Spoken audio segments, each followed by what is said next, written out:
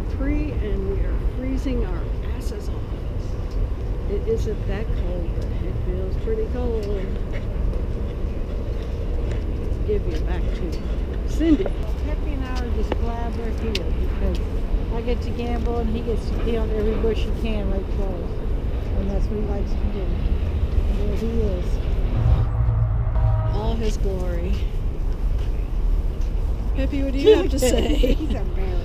Don't film him when he's doing that. He said that's not his best side.